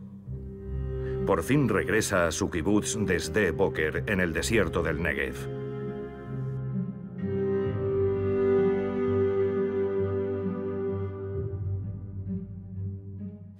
Ben Gurión era como el príncipe de Maquiavelo. Así era Ben Gurión. Sin él, la creación del Estado de Israel no hubiera tenido lugar. Y nosotros, el pueblo palestino, pagamos muy caro con nuestra sangre esa operación que condujo a la creación del Estado de Israel. Los israelíes se pensaban que con el paso del tiempo los palestinos se olvidarían de Palestina y se irían a vivir a otra parte. Pensaban que con el paso de las generaciones ya no se acordarían de Palestina y le perderían el apego a su país. Pero se equivocaron. Ben Gurion dijo que a los 10 o 20 años se habrían olvidado de que habían sido un pueblo. Por suerte no lo consiguió. Gracias a Dios. El pueblo palestino ha demostrado que los vínculos con su tierra y con su historia siguen siendo igual de fuertes. Ben Gurión cometió muchos errores, por supuesto. Por aquel entonces pensaba que con el tiempo los palestinos se acabarían olvidando pero ni lo han olvidado ni se lo hemos dejado olvidar. Si gran parte de los que se han ido no han encontrado su sitio en otra parte, es porque los países que los han acogido no les han permitido encontrar su sitio. No se han integrado. Los han encerrado en campos de refugiados. Los palestinos son los únicos cuyo estatus de refugiado se transmite de generación en generación. Les han negado toda forma de integración cada nación por sus razones, pero también para mantener viva eternamente la cuestión palestina. Evidentemente, es un arma diplomática y moral contra el Estado de Israel. Para excusar su impotencia, los regímenes árabes pronuncian enfáticos discursos prometiendo la liberación de Palestina. En mayo del 64 se reúnen en Jerusalén los representantes palestinos, Gamal Abdel Nasser y el rey Hussein de Jordania. La cuestión palestina empieza a cobrar cada vez más peso, porque es una cuestión alrededor de la cual se puede poner de acuerdo todo el mundo árabe, y así la cuestión palestina se vuelve central. El congreso se celebró en el Monte de los Olivos. Era el primer congreso. Mi padre asistió, al igual que muchos otros palestinos, y evidentemente estaba también Ahmed Shukeiri. Nasser impondrá al palestino Ahmed Shukeiri como primer presidente de la Organización para la Liberación de Palestina. El método contemplado por la OLP es la lucha armada. Nuestro éxodo no había sido una mera derrota. Fue un intento de demoler toda existencia palestina. Y cuando intentas demoler a alguien, cuando pones a alguien contra la espada y la pared, se defiende. Comienza el terrorismo palestino. Los Fedayín lanzan una ola de atentados que minan la moral de la sociedad israelí y más cuando el país atraviesa una crisis económica sin precedentes. Numerosos israelíes abandonan el país. Alguien cuelga en el aeropuerto de Tel Aviv un letrero. El último israelí en irse que apague las luces. En el 65 hubo una gran recesión en Israel. Yo aún era un niño por aquel entonces. La situación económica era catastrófica, con el paro al alza, no había dinero. Vivíamos muy modestamente, la verdad. Desde los altos del Golán sirios son frecuentes los ataques con artillería pesada contra las localidades israelíes del norte de Galilea. El primer ministro Levi Skoll acude sobre el terreno para tratar de tranquilizar a la población. En abril de 1967, siete cazas MiG-21 sirios son abatidos por los israelíes. El mundo árabe no podía quedarse de brazos cruzados. Un mes después, Nasser ordena a su ejército que vuelva a ocupar el Sinaí, una zona que lleva 10 años desmilitarizada, y exige la retirada de la Fuerza Internacional de la ONU desplegada en ella. Al imponer el cierre de los estrechos de Tirán entre el Golfo de Aqaba y el Mar Rojo, Egipto bloquea el acceso al puerto israelí de Eila. Para Israel es un casus belli que no puede sino conducir a la guerra. Nasser cayó en la trampa, pero de cabeza. Pensó que iba a poder hablar de la guerra sin librarla, pero en cuanto empezó a hablar de ella, se desencadenó todo un mecanismo en el que se vio metido. No pensaba que fuera a haber una guerra. A Nasser lo engañaron a base de bien.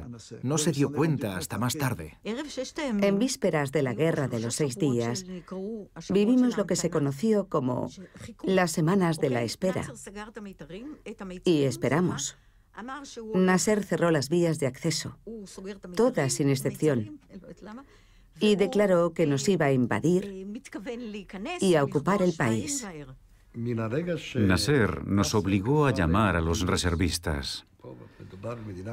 Y si tenemos en cuenta que somos un país minúsculo, cuando se llama a los reservistas, ya no queda nadie para trabajar.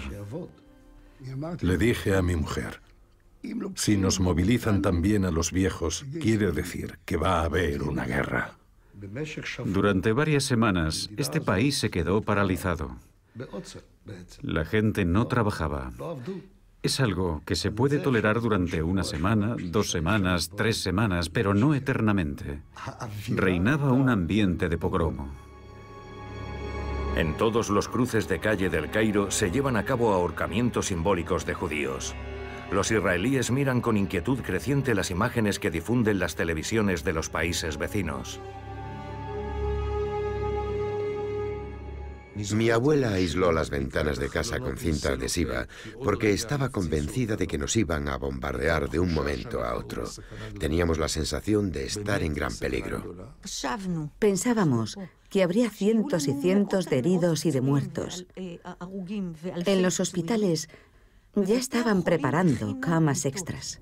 Unos voluntarios cavan hoyos en los campos de fútbol y en las plazas para las miles de víctimas israelíes que habrán de ser enterradas después de la guerra. Me acuerdo de que todos nuestros vecinos estaban muertos de miedo.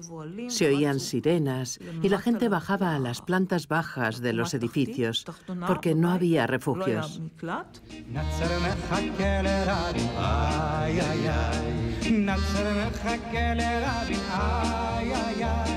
Los dos países libran una guerra con canciones interpuestas. En el bando israelí, Nasser quiere liarse a golpes con Rabin.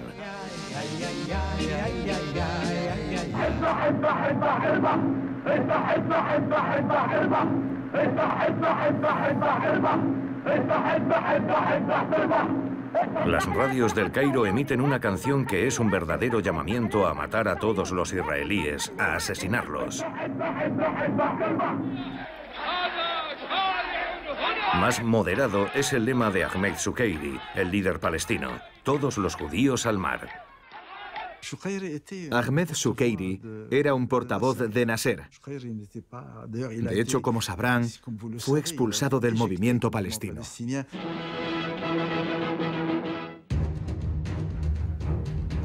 La televisión egipcia emite unas imágenes de ficción de lo que será la próxima guerra.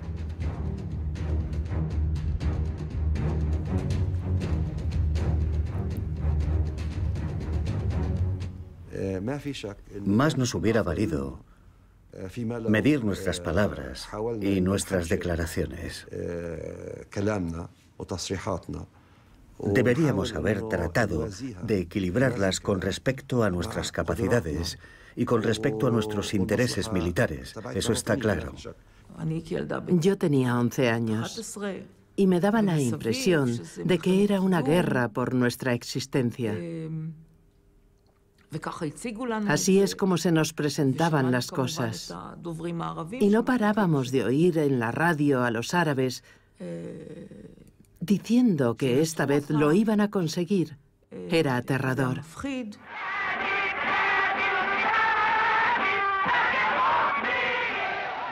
Nasser, estamos todos contigo. Vamos a exterminarlos a todos. Vamos a degollarlos y quemarlos hasta el último. La radio y la televisión se hacen eco en numerosas ocasiones de las palabras exterminar Israel. El término exterminar es una alusión directa al holocausto y la población teme que se produzca efectivamente un nuevo holocausto.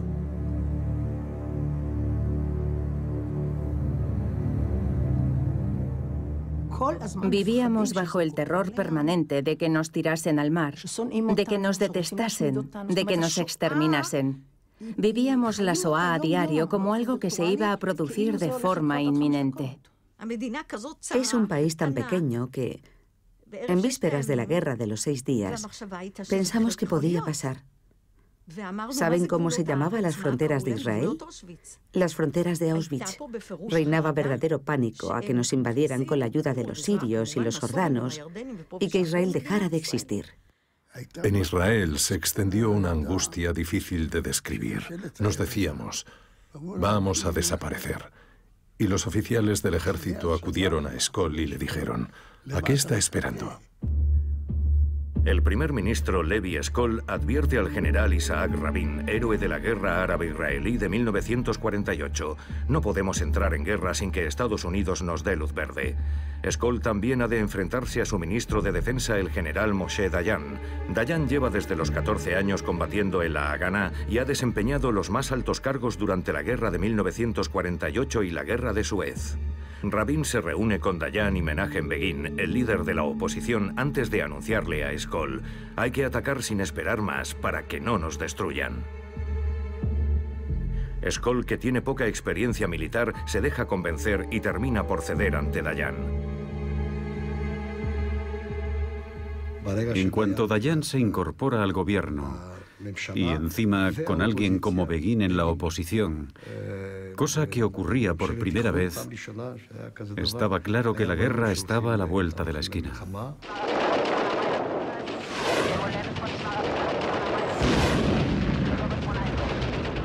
El 5 de junio, los más de 400 aviones de la aviación egipcia quedan destruidos en tres horas. El general Weizmann, responsable del ejército del aire, llama a su esposa para anunciarle, acabamos de ganar la guerra. Un poco más tarde se produce una ofensiva terrestre en el Sinaí y la Franja de Gaza. 70.000 hombres y 700 tanques del ejército de tierra israelí atacan a las fuerzas egipcias estacionadas en el Sinaí. Privadas del apoyo aéreo, son incapaces de hacer frente. Al día siguiente, el ejército israelí ocupa sin mayor dificultad el desierto del Sinaí.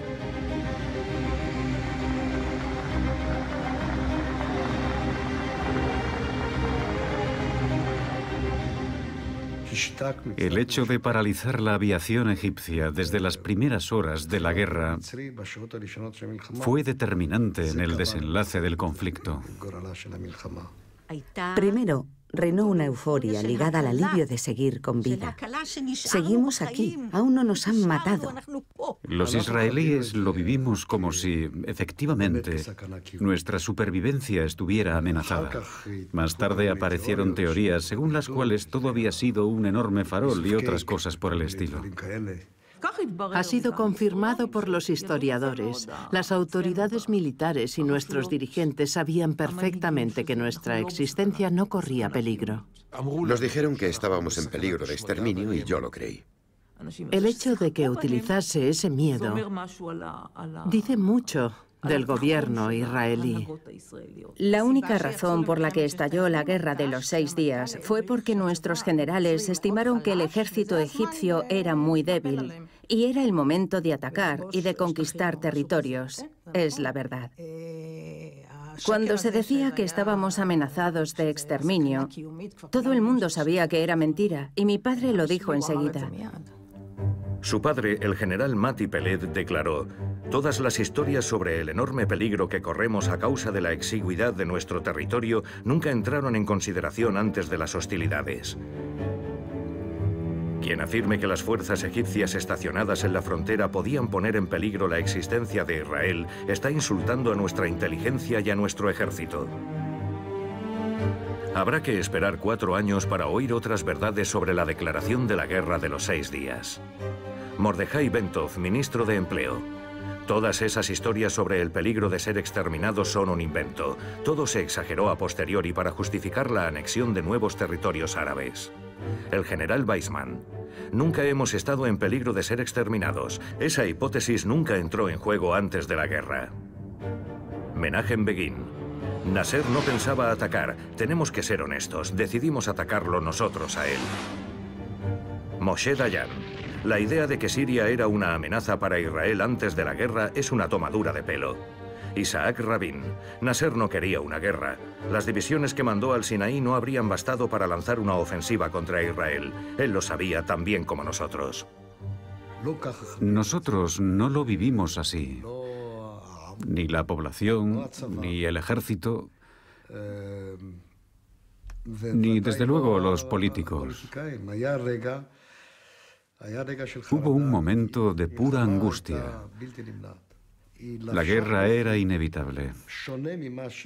No se desarrolló como nos la imaginábamos, porque Hussein entró en ese círculo vicioso. Intentaron convencer a Hussein de no participar en la guerra, y ese fue su error. Tras el anuncio de grandes victorias en las radios del Cairo, las fuerzas jordanas del rey Hussein entran en el conflicto y bombardean Jerusalén oeste. Si no hubiera intervenido, habría sido una fotocopia de la guerra del 56. En cuanto intervino él, se convirtió en una guerra global contra todos nuestros vecinos. Y el resultado fue la conquista de esos territorios. A Israel no le interesaba ocupar ni Cisjordania por su numerosa población, ni Jerusalén. Pero los jefes militares declaran que es posible tomar Jerusalén Este, y en 1948 cometieron el error de no quedarse en la ciudad vieja. En este momento preciso, estamos cruzando la puerta de los leones.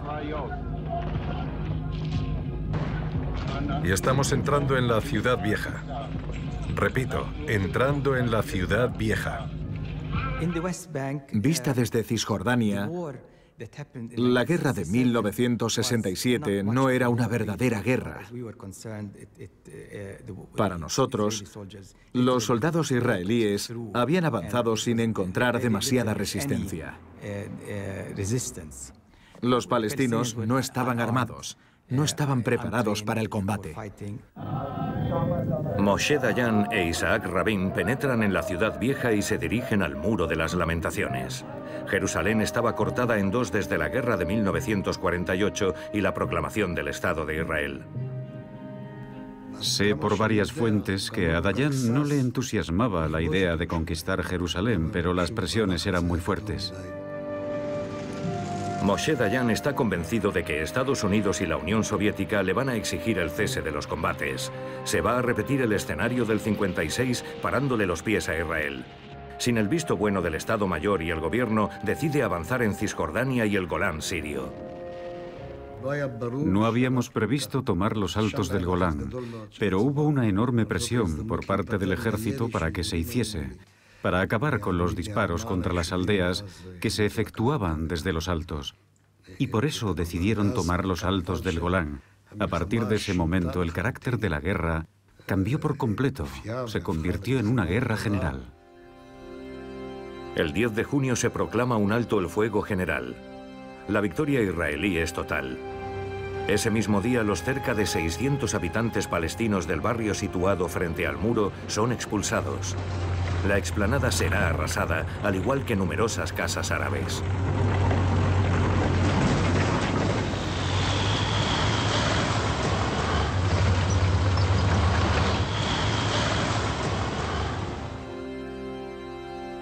El 18 de junio, Israel anexiona 71 kilómetros cuadrados al este de la ciudad antes de extender en ellos su legislación. Jerusalén ha sido reunificada.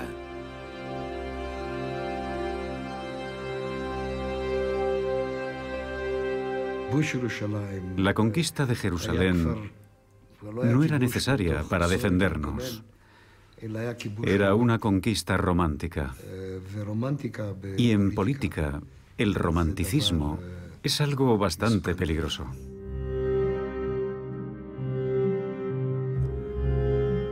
En seis días, Israel ocupa el Sinaí hasta el canal de Suez, la franja de Gaza, Cisjordania, la parte árabe de Jerusalén Este y la meseta siria de los Altos del Golán. Un millón de árabes quedan sometidos a su administración. El Estado de Israel pasa de medir 21.000 kilómetros cuadrados a 102.000. Tras la batalla de Jerusalén nos llevaron al muro de las lamentaciones. Y cuando llegué al muro, vi a toda esa gente, tan laica como yo, que se puso a decir que se trataba de un lugar sagrado. Los lugares santos no tenían ninguna importancia para los primeros sionistas. Pero cuando ocurrió aquello, supuso una gran conmoción. Hemos vuelto. Estos lugares nos pertenecen. Qué fácil ha sido. Solo Dios puede haber obrado un milagro semejante. Era como si hubiera llegado el Mesías. Atrajo a muchos jóvenes que eran religiosos y se volvieron nacionalistas, e incluso a jóvenes que al principio no habían sido religiosos. Lo que está claro es que todos los religiosos se volvieron de derechas. Esta victoria tan aplastante que algunos vivieron como una experiencia religiosa, mesiánica, cambiaría el curso de la historia. Me acuerdo de que a pesar de mi educación comunista, cuando anunciaron la conquista de la ciudad vieja de Jerusalén, me ganó el entusiasmo e iba repitiendo por ahí la noticia emocionada. Hemos conquistado la ciudad vieja. Creo que no decía liberado. Me lavaron tanto el cerebro que acabé tomando parte en esa orgía nacionalista y religiosa que se desencadenó y en la que participó todo el mundo. Yo solo tenía 14 años. Tenía la impresión de volver a casa, de que habíamos liberado esos territorios. Pero lo más dramático es que no recuerdo haber visto nunca a un solo árabe. En 1967 hubo una nueva ola de refugiados, esta vez procedentes de Cisjordania en dirección a Jordania. Los refugiados del 67 se sumaron a los refugiados del 48. Fueron desplazadas 150.000 personas. Y eso solo amplificó el problema ya existente.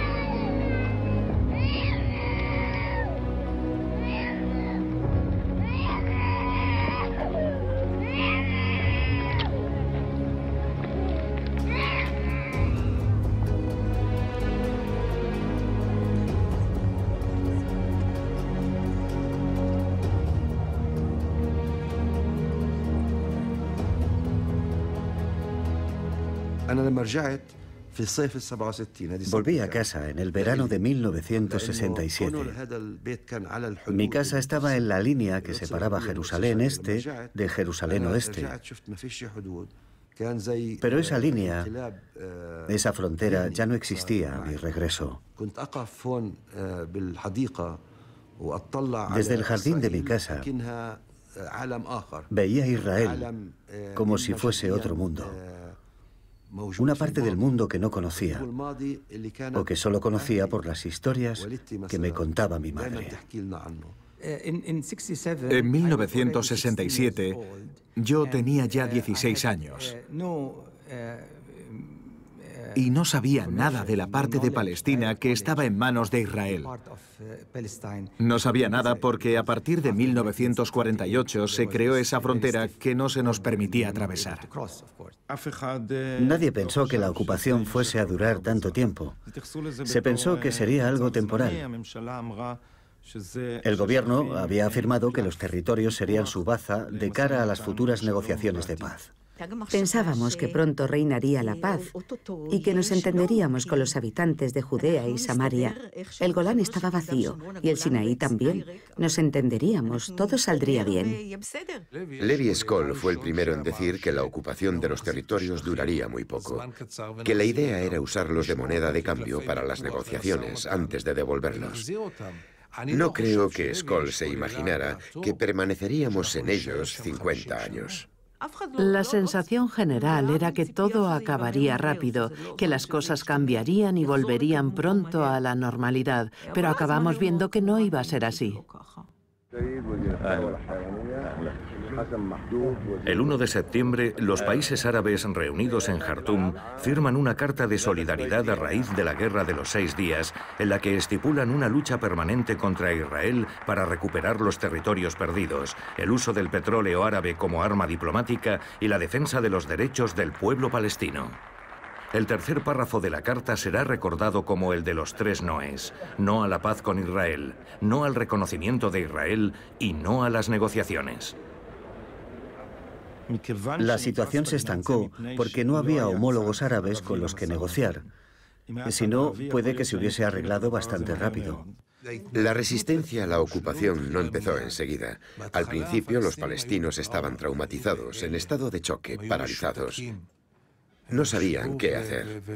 Y entonces se nos ocurrió la idea de una ocupación ilustrada, de una ocupación liberal, como si tal cosa pudiera existir. Inventemos ese concepto de ocupación liberal y ya veremos lo que pasa. Tras el 67 floreció aquí un sionismo mesiánico, cuyas raíces eran religiosas y cuyo objetivo no era la libertad ni la independencia del pueblo de Israel, sino el regreso del pueblo judío tras los pasos de su pasado bíblico. Esta nueva generación proclamaba, somos los nuevos pioneros. Pero sus motivaciones eran completamente diferentes de las de los primeros pioneros que no eran religiosos. Sin embargo, los viejos sionistas estaban cansados y veían esta nueva sociedad con cierta inquietud, pero también un poco satisfechos. Es la nueva generación, decían.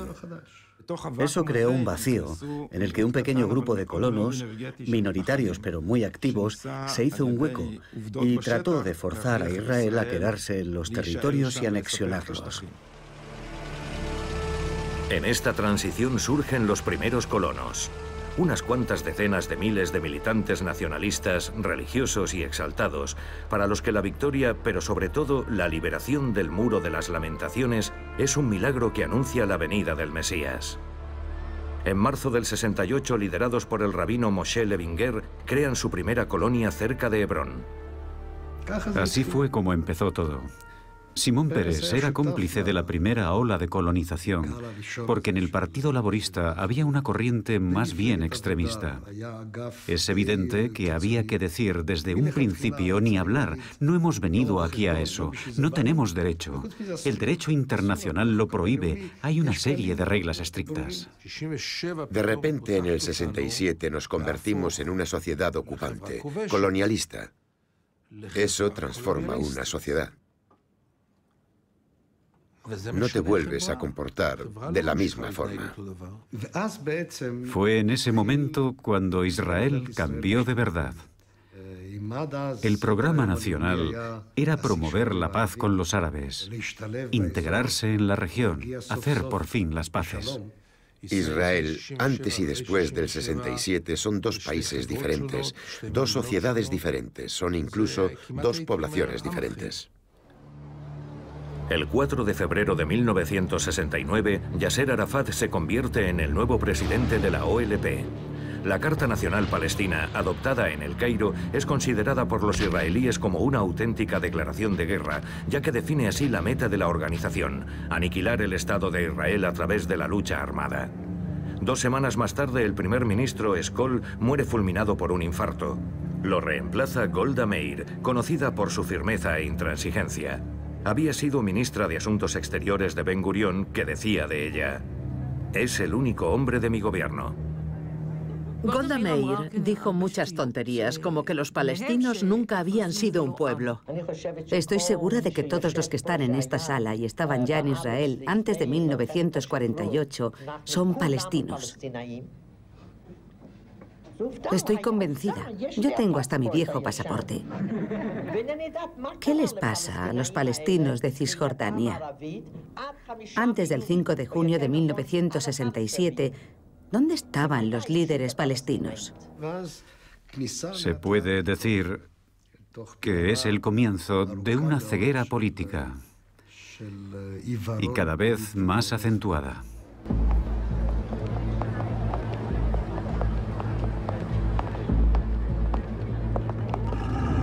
Es a comienzos de los años 70 cuando las fuerzas de oposición empiezan a expulsar a los palestinos de sus tierras y a construir colonias.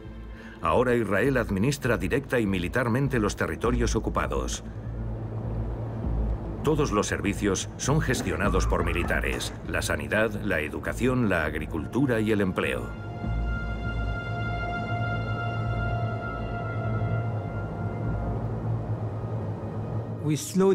Poco a poco comprendimos lo que quería decir la ocupación. Comprendimos que la ocupación quería decir sobre todo que nos iban a arrebatar nuestras tierras, que nos las iban a arrebatar para construir sus colonias. Los que piensan que esta gente va a seguir soportando esta situación que hace de ellos ciudadanos de segunda categoría están equivocados. Los palestinos se han acostumbrado a aguantarlo todo, pero ¿hasta cuándo? Los atentados suicidas han destruido el bando de la paz. Nos hemos quedado mudos. Es difícil defender la paz cuando hay autobuses volando por los aires en las calles. La forma que han escogido los palestinos de luchar es la violencia, que no conduce a nada, o una apatía que los empuja a no hacer nada. Aún les queda mucho por aprender para organizar una lucha eficaz e inteligente contra la ocupación. En el bando palestino, aunque nadie lo declare abiertamente, varios de nuestros dirigentes se han aclimatado a la situación en la que nos encontramos hoy. Es una situación de lo más desmoralizadora, humillante y deplorable. Pero nuestros dirigentes están dispuestos a seguir viviendo así. Los israelíes se piensan que si no hablamos de la ocupación es como si no existiese. Y está a una media hora de nuestras casas. Y aún así la mayor parte de los israelíes nunca han ido. No les interesa lo que pasa allí. Es muy difícil cambiar las cosas. Levantar ese velo que han echado los israelíes sobre todo lo relacionado con la ocupación. Hemos negociado durante 25 años sin llegar a nada, porque la colonización no ha dejado de llevarse a cabo. Un cuarto de siglo más tarde, ¿cuáles son los resultados? Los israelíes camuflan la realidad, pero claro que sí, vamos a sentarnos a hablar, a firmar acuerdos y estrechar manos. Y todo para que nadie se fije en las excavadoras que siguen trabajando. No hay ninguna política para parar la colonización. Según las estadísticas israelíes, la población de las colonias judías de Cisjordania ha seguido aumentando cerca de un 4% al año y hoy asciende a más de 400.000 personas. No se puede hablar de esos 400.000 y no hablar de los 300.000 colonos judíos que hay en Jerusalén. Lo siento, la ocupación de Jerusalén Este no deja de ser una ocupación. Hay 700.000 colonos y no hay ni habrá nunca un jefe de gobierno que esté dispuesto a ordenar la evacuación. Por eso hay gente que, como yo, no cree ya en la solución de los dos estados. La solución de los dos estados, en el sentido clásico del término, no llegará jamás a menos que se produzca un milagro. Y no lo digo solo yo o Elías Sambar, es lo que dicen todos los que observan la situación. Durante años nos hemos preguntado, yo el primero, si Israel quiere construir la paz. Y a medida que he ido conociendo y hablando con más gente, he empezado a comprender una cosa. Que la verdadera pregunta es si Israel es capaz de construir la paz. No creo que la paz sea imposible. Mi miedo es que no se quiera construir la paz que cuanto más tiempo pase, más complicado sea, hasta que llegue un punto en el que la gente se encoja de hombros y diga, ya no la necesitamos.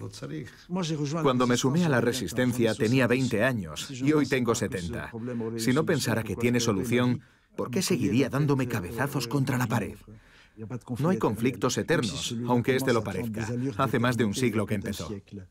En Jerusalén Este, de donde vengo yo, ninguno de nosotros tiene nacionalidad. No tenemos pasaporte.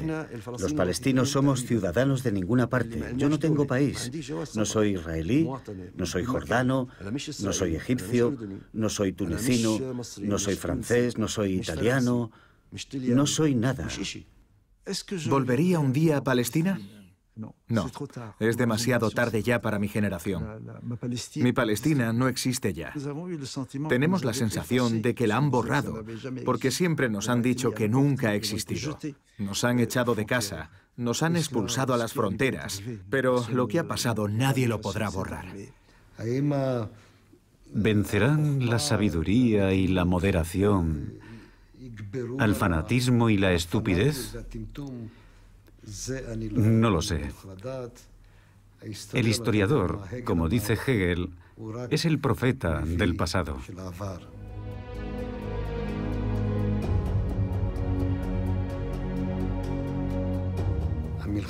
La guerra estalla cuando falla la diplomacia. Así que estamos en la era de las armas. Siempre he visto las guerras de Israel como una guerra sin fin, con pausas.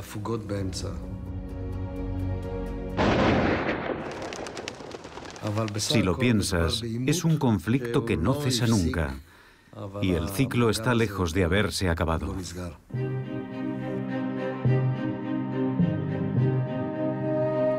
Sabiéndose enfermo, Theodor Herzl había dejado una carta para sus sucesores. No cometáis errores cuando yo esté muerto. Murió en 1904 a los 44 años. Herzl había pedido ser enterrado en Palestina cuando el pueblo judío haya fundado allí un Estado independiente. 45 años más tarde, el 17 de agosto de 1949, es inhumado en el Monte Herzl, en Jerusalén, junto con sus padres y su hermana, pero sin su hija menor, muerta en el campo de concentración de Theresienstadt.